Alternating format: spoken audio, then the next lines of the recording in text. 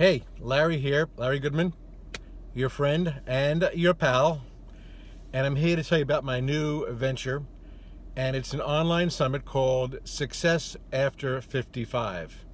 Well, since I've passed that milestone a while ago, I feel that I can really talk about this topic. And it's about really having the right mindset, the, uh, you know, keeping your health, being fit, uh, you want some more romance in your life, it's really gone downhill. Can't find a date, can't find anybody, and maybe you got you got fired or you hate your job. You want to reinvent yourself. Well, on this summit, you'll get this great tips, and these are the kind of tips from experts, not just anybody. I've put together already ten people have committed, been committed to be on this uh, summit and I'm looking for about 15 more. So these people will not put you to sleep. You're not going to listen to them and fall asleep. It will not, I promise you, will not be a snooze fest. You'll want to hear these recordings over and over again. Actually, there'll be videos.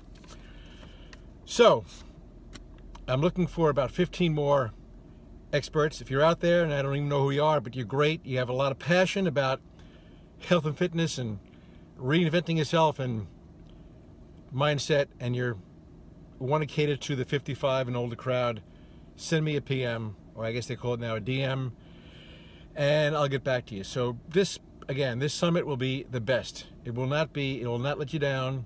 You'll enjoy watching it. You'll really gain a lot of motivation, perspiration, inspiration from this, and you'll love it. So guys, it'll happen sometime in the summertime takes a while to get this together. That's why I have Jenny, the two Jennies, Jenny Wright and Jenny Friedman helping me out because it's not something that happens in two weeks.